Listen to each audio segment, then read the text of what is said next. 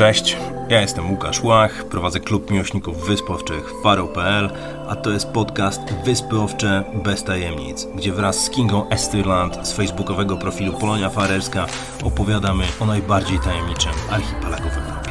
Zapraszamy!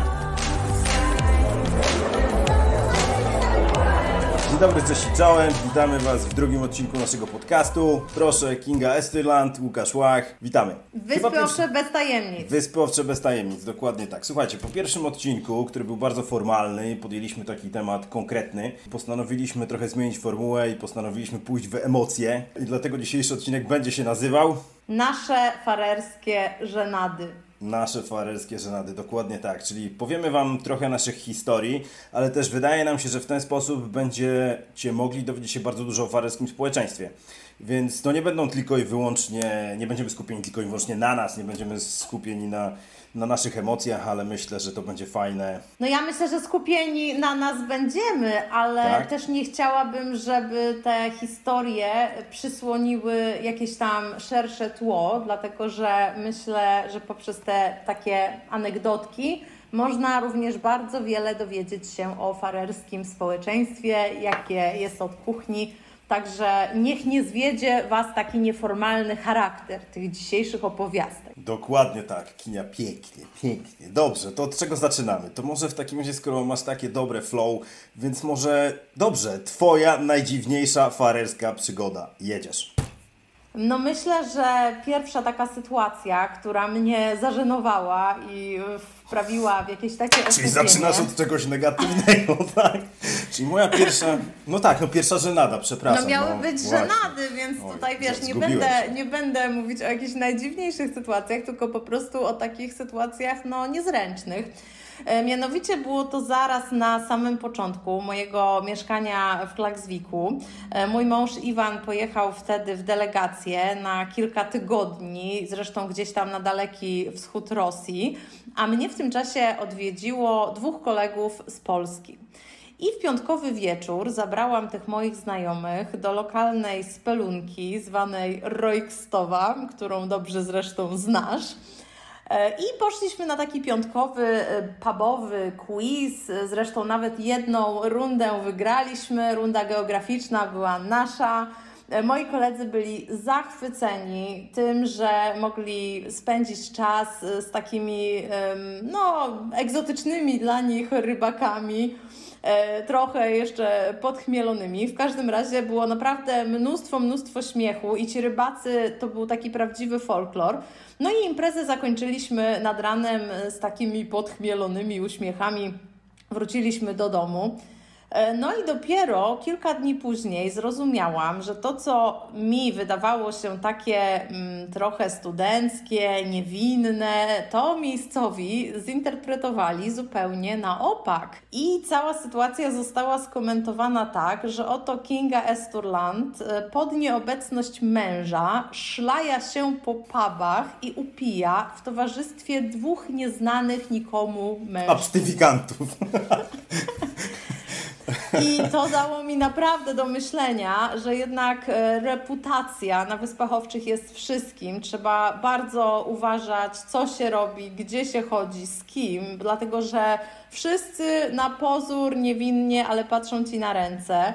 No i od tamtej pory staram się bardziej tak analizować moje jakieś e, potencjalne posunięcia, żeby właśnie nikomu nie dostarczać pożywki do tego typu e, komentarzy. Tym bardziej, że jednak plotkowanie to jest farerski sport narodowy i tutaj e, plotkują wszyscy. No i też właśnie na początku miałam takie, znaczy wiedziałam, że oczywiście jest to mała społeczność, że wszyscy się wszystkimi interesują, ale założyłam, że skoro ja się nikim nie interesuję, no to dlaczego ktoś ma interesować się mną, jak nie ma tego takiego sprzężenia e, zwrotnego? No ale okazało się, że to tak nie działa i pomimo, że ja tam nikogo nie znałam i nie byłam zainteresowana, no to jak poznawałam jednak nowe osoby, to każdy już wiedział, jak mam na imię, skąd jestem, kto jest moim mężem, gdzie mieszkam i właściwie nie musiałam w ogóle nic o sobie mówić, bo ludzie już wszystko wiedzieli. Także uwaga na plotki na Wyspach Owczych i uwaga, uważajcie na to, co robicie.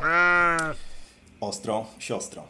Kiedy ja myślałem o moich fareskich żenadach, to mam kilka oczywiście historii i zacznę może od takiej, która była pierwszym takim zderzeniem z fareską rzeczywistością po jakimś tam latach takiej mojej totalnej fascynacji i przeświadczenia, że Wyspy Owcze to raj i to, co mnie tam spotka, to będzie tylko i wyłącznie coś pozytywnego i dobrego. E, I to jest historia związana z moimi, z moimi wycieczkami. To był chyba rok 2011. Kończyłem 30 lat, piękna sprawa, pojechaliśmy na, na trip i to, był taki, to była taka wycieczka, gdzie częścią grupy byli też moi dobrzy znajomi, między innymi mój szef, były szef ze swoimi synami, z tego miejsca go bardzo mocno pozdrawiam.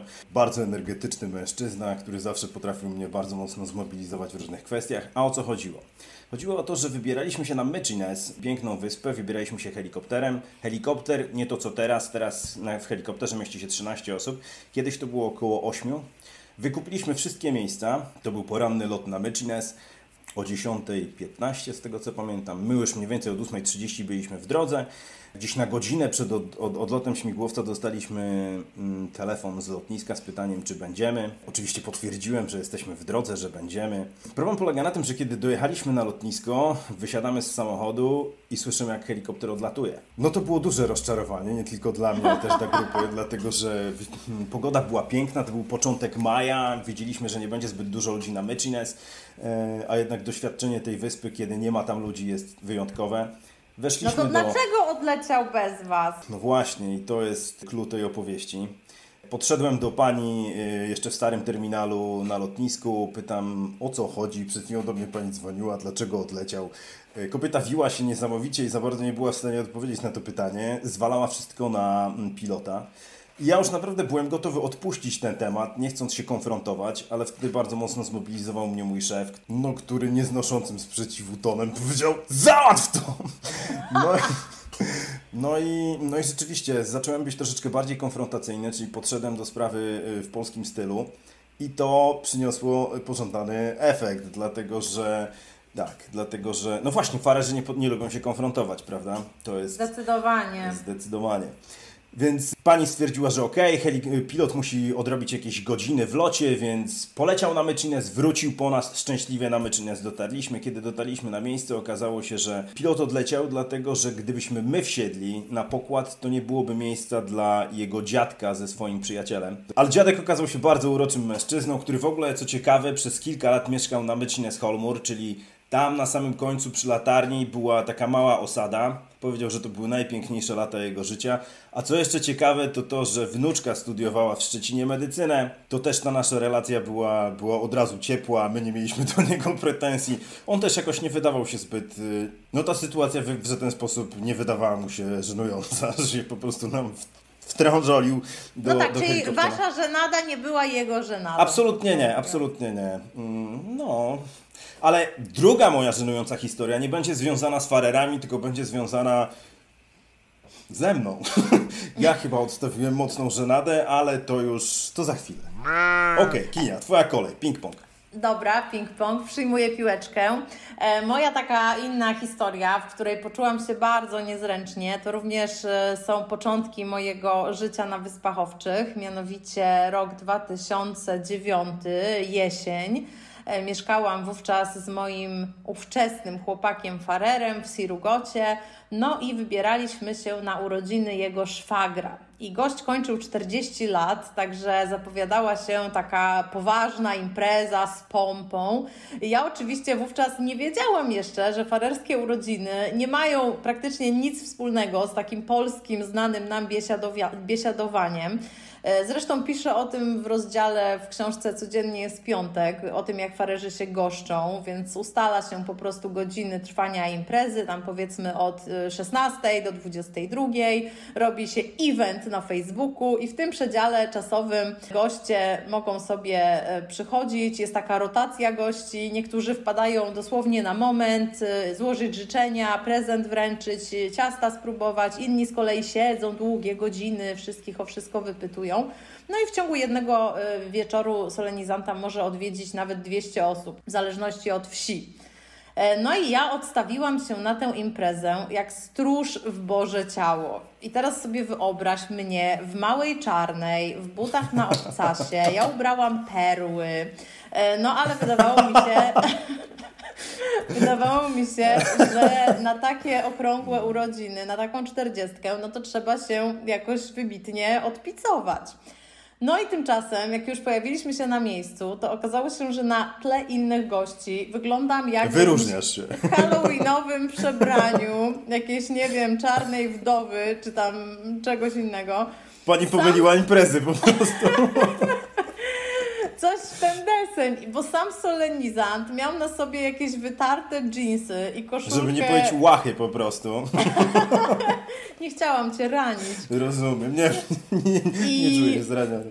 E, miał te dżinsy, koszulkę poliestrową e, klubu sportowego Wujczyngur. Był jakiś w ogóle niedogolony. E, większość gości natomiast lansowała się w farerskich wełnianych swetrach albo dresach i szczytem elegancji to było kilka pań, które miało na sobie tuniki i getry. E, Na stole standardowo cerata, to jest w ogóle e, farerski zamiennik obrusu. No i królował, wiadomo, szwedzki stół, była samoobsługa i tak dalej. No i ja byłam wtedy takim też świeżakiem na Wyspach Owczych, więc z kilkoma osobami sobie tam pogadałam po angielsku, po duńsku i w trakcie tych interakcji to tak, jeden dłubał w nosie, drugi gapił się w telefon i tylko na mnie tam co ileś minut zerkał, y, czy ja tam w ogóle jeszcze stoję. E, Inny z kolei mówił z pełnymi ustami, więc ja po prostu poczułam się jak na jakiejś imprezie w akademiku, a nie na urodzinach 40-letniego faceta. Tak więc jak widać ten savoir vivre na Wyspach Owczych ma swoją odmianę własną, no i trzeba się do niej przyzwyczaić. Co kraj, to obyczaj. Zdecydowanie. Hmm, No dobrze, to teraz, teraz moja historia, mojej żenady. Własnej osobistej. Moja pierwsza wycieczka na Wyspy Owcze. Pojechałem tam z namiotem. Nie wiem, dlaczego tak to sobie wymyśliłem. No znaczy, no trochę wiem. No chciałem po prostu, chciałem przeżyć przygodę. No i nieistotne. Dotarłem w końcu na Wyspy Owcze, płynąc jeszcze Noroną z Bergen. Yy, I pamiętam, że pierwszym miejscem, gdzie próbowałem rozbić namiot, była wyspa Wołar z pięknym widokiem na. Z pięknym widokiem, po prostu. Na Tintholmur pewnie. Nie, nie, nie, nie, byłem dalej. Byłem przy kościele w Sandowa Gór, czyli tam dalej. Poszedłem na palec wiedźmy. E, oczywiście nie dało się rozłożyć namiotu, dlatego że ziemia była strasznie przesiąknięta wodą. A ja niestety, to był 2006 rok, e, no niestety albo stety, miałem wszystko bardzo dokładnie wyliczone. Mowa oczywiście o kosztach. E, a czekała mnie jeszcze podróż Noroną na Szetlandy. Z Szetlandów e, musiałem zostać 3 dni w Wielkiej Brytanii i dopiero stamtąd leciałem z Glasgow do Warszawy i później musiałem się jeszcze przewijać do Wrocławia. Więc to była naprawdę wielka pardubicka i... No i mój cały plan załamał się, kiedy okazało się, że nie jestem w stanie spędzić nocy w namiocie. To był piątek, pamiętam. Podszedłem do tego chyba no nie było w tym logiki, dlatego że hostel kosztował 160 koron, a ja, skoro nie byłem w stanie przespać się w tym Santa Wagur, to za 80 koron czy za 60 kupiłem bilet autobusowy do Torshavn, więc połowę kwoty, którą bym wydał za hostel, wydałem na autobus. E, No i po prostu w tym Torshavn stwierdziłem, że w większym mieście będzie łatwiej spędzić jakoś noc. No i pamiętam, że strasznie się zmęciłem do drugiej w nocy. W końcu znalazłem Znalazłem jakąś, jakiś przystanek autobusowy. Pech chciał, że to, była, to był przystanek autobusowy w Argy, czyli można powiedzieć pętla autobusowa. E, I ta pętla autobusowa, ten, ta wiata przystankowa była po prostu na, na, na widoku, mówiąc krótko. Więc każdy, kto wracał z imprezy, każdy się zatrzymywał przy tej wiecie przystankowej. świecił mi, wiesz, świecił mi światłami i zastanawiał się, o co chodzi. 2006 rok to jeszcze nie był czas, kiedy Wyspy Owcze były zasypane turystami, więc no, wzbudzałem zainteresowanie, a zupełnie tego nie szukałem. No w końcu wróciłem do centrum i stało się coś, co się bardzo często się zdarza w moim życiu, czyli z piekła do nieba przeszedłem się obok hostelów Bladajpe, tak to się wymawia. Bladujpe. No właśnie, Bladujpe. Ja się boję zawsze przy kini wypowiadać faryskich nazw, bo zawsze jestem strofowany, ale to dobrze, ja to lubię. I tam przy stołówce, tak jakby miejscu, gdzie, gdzie podawano śniadania, była budka telefoniczna. Budka telefoniczna nie taka wolno stojąca, tylko budka telefoniczna na pełnym wypasie. Budka telefoniczna, która jednocześnie służyła za miejsce, z którego odbierało się klucze, kiedy hostel był zamknięty. Więc ona była tak jakby małym pokoikiem w budynku hostelu, do którego można się było dostać z zewnątrz. I to było niesamowite uczucie, dlatego że byłem już dość przemarznięty. Tam było oświetlenie, był mały grzejnik. To było coś pięknego. I sama budka telefoniczna była 50 metrów od, od sklepu spożywczego, więc obudziłem się o 7 rano, wyspany, poszedłem po mleczko i o 8, kiedy otwierali hostel, zameldowałem się i się po prostu...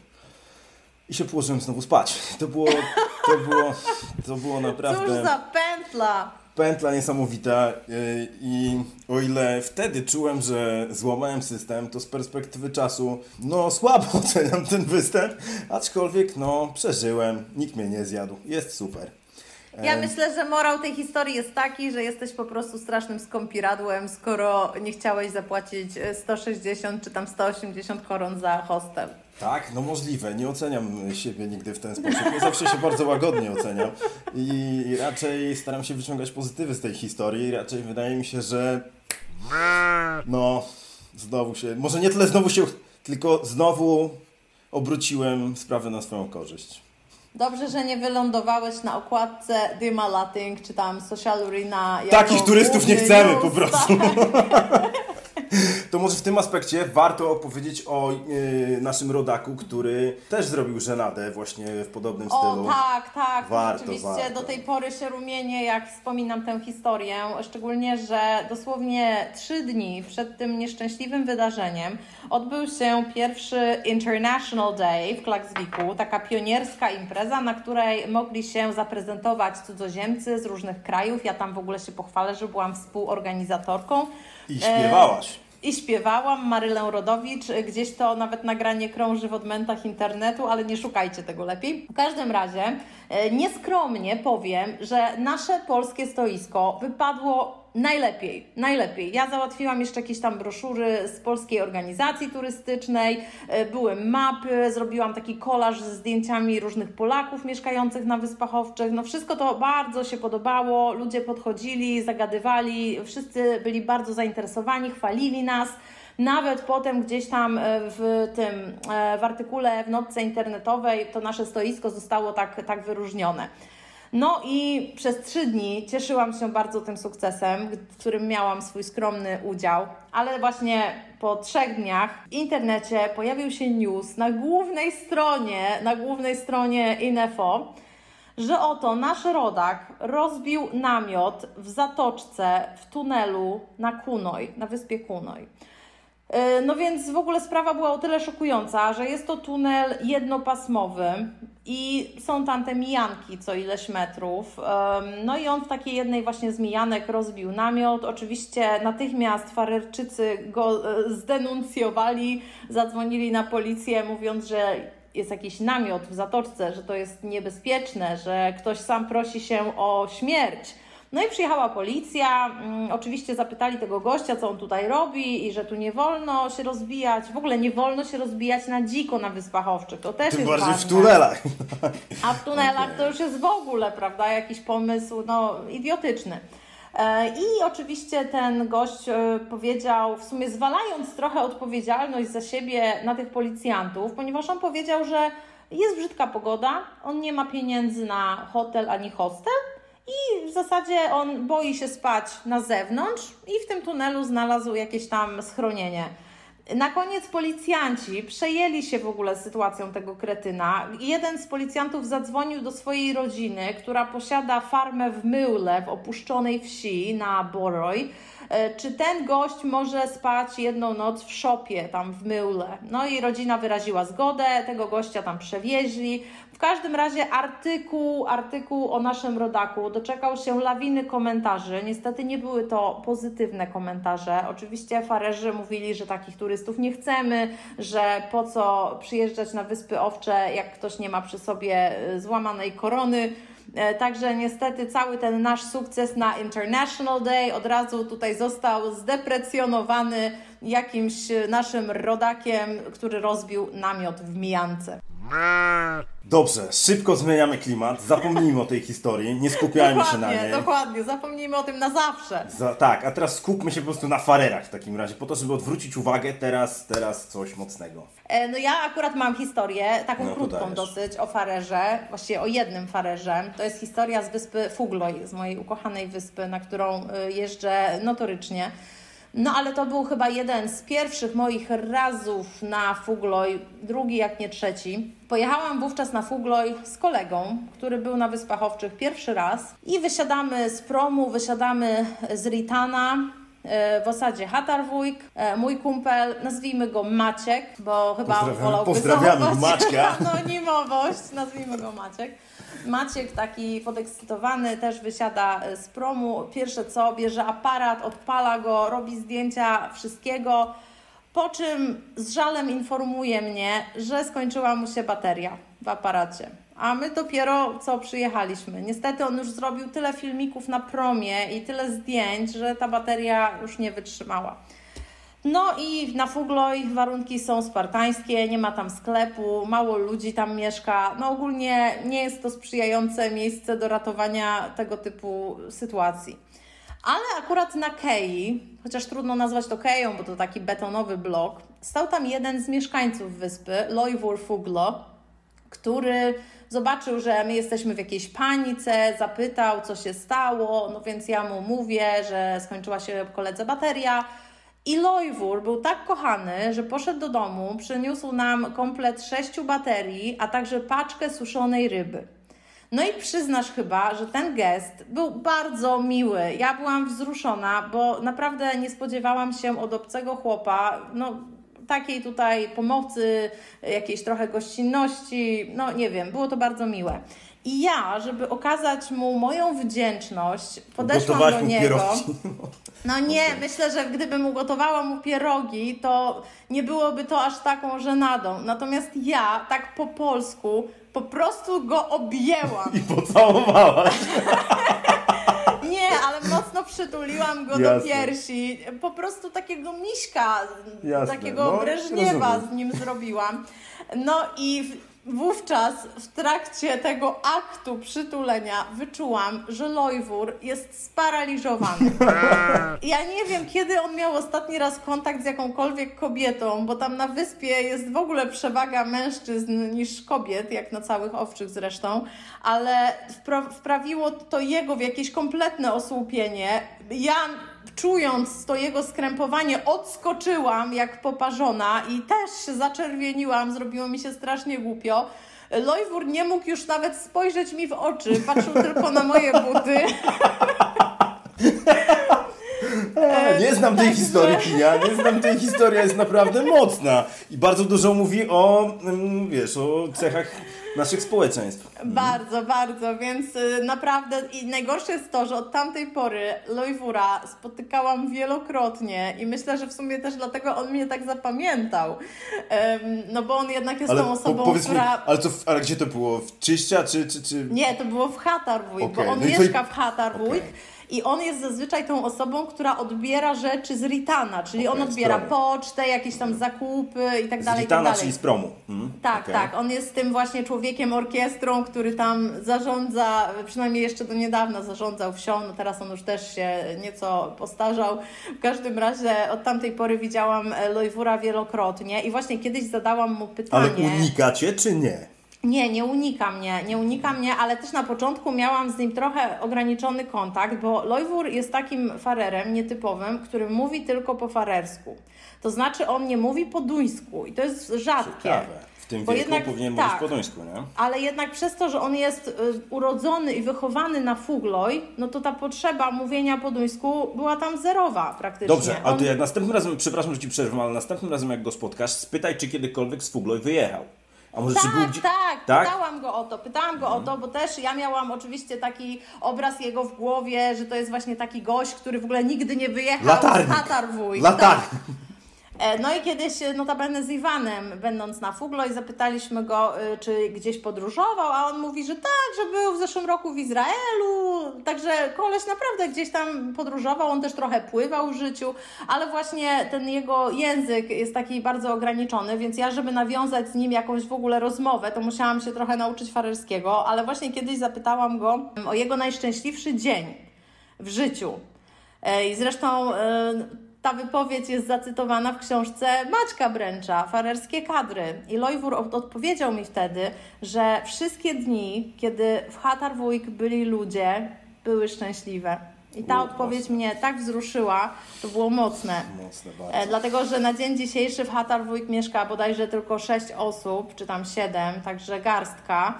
E, natomiast myślę, że jak Lojwór był młody, to ta liczba wynosiła około 50 osób, także to była zupełnie inna energia wtedy tej wsi. Jasne. I myślę, że to, co teraz powiedziałaś, jest tym bardziej, tym łatwiej zrozumiałe dla ludzi, którzy tam byli, prawda? I którzy, którzy konkretnie no, potrafią się tam przenieść i, i, i, i widzą to wszystko. Bardzo ciekawe. E, W każdym i... razie morał z tego taki, nigdy nie obejmuj Farerczyka z Z zaskoczenia. nienacka, z nienacka, tak. Tylko musisz go wcześniej przygotować. Uwaga, idzie przytulas. No No dobrze, to słuchajcie, to może na koniec, bo tutaj bawimy się jakimiś tam kontekstami, opowiadamy o żenadach, ale pokazujemy różne perspektywy. To teraz perspektywa tego, z czym teraz Wyspy Owcze się mierzą, czyli postępującej islandyzacji Wysp Owczych, jak czasami mówimy, czyli tej nawały turystów, która na Wyspy Owcze zmierza. Oczywiście zatrzymana teraz przez koronawirusa, ale na Wyspach Owczych turystów jest coraz, coraz więcej. E, I chyba symbolem tego wszystkiego, co się dzieje, jest słynny farmer z Saxon. O tak. Tak. Może Kiniu, daj kontekst tego człowieka, a ja opowiem Wam moją historię z nim związaną. Tak, e, farmer z Saxon to człowiek, który osiedlił się w odludnym miejscu po to, żeby być w jakiejś tam względnej izolacji, nie wśród ludzi. Chciał mieć spokój, odosobnienie. No i okazało się, że jednak Saxon trafiło na listę tych takich topowych farerskich miejsc o jakimś tam szczególnym pięknie. No i z roku na rok mm, turystów odwiedzających wioskę zaczęło przybywać. No i takim pierwszym, pierwszym wyrazem swojego sprzeciwu, jaki dał ten właśnie e, farmer, on się nazywał e, Jegwan, Jegwan, Jegwan, Jegwanson? Nie, nie pamiętam. Nie chcę, nie chcę e, źle powiedzieć. Nazwijmy go po prostu roboczo farmerem z Saxon. E, Fakt, że turyści nie obchodzili się z nim kulturalnie i grzecznie, dlatego że zwłaszcza Azjaci natarczywie podchodzili pod okna jego domu, fotografowali rodzinę na przykład jedzącą obiad, czy y, tego farmera bawiącego się z dziećmi. Także tutaj już jawnie doszło do jakiegoś takiego przekroczenia tej granicy prywatności. No, ale farmer zaczął reagować dosyć agresywnie. I pierwsze co zrobił, to na takim starym kontenerze napisał po angielsku: This is no Disneyland, tourists go home. Czyli to nie jest Disneyland, turyści do domu. Ale oczywiście mm, ten przekaz został zignorowany, a nawet turyści chętnie Bezczelnie robili... zignorowany. A nawet turyści chętnie robili sobie zdjęcia pod tym napisem, także to tak naprawdę ta akcja niewiele dała.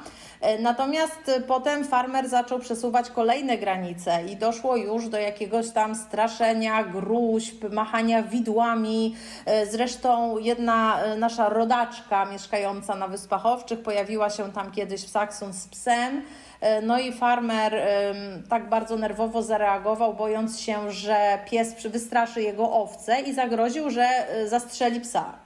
Także dochodziło tam do takich już naprawdę mocnych scen i to, co ja uważałam za bardzo niepokojące, to było to, że inni farerzy poklepywali go po plecach, że nie było takiej tutaj takiego ostracyzmu społecznego e, i nikt tam jakąś anatemą go nie obłożył, tylko ludzie mówili tak, rozumiemy Cię, współczujemy Ci i on przez to się czuł coraz bardziej pewnie, mając takie właśnie poparcie społeczne.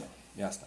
Znaczy, mm, ja w jakiś sposób rozumiem frustrację tego człowieka, bo rzeczywiście Saxon jest na tyle pięknym miejscem i na tyle relatywnie łatwo dostępnym, że każdy, kto przyjeżdża na Wyspy Owcze, wcześniej czy później tam ląduje.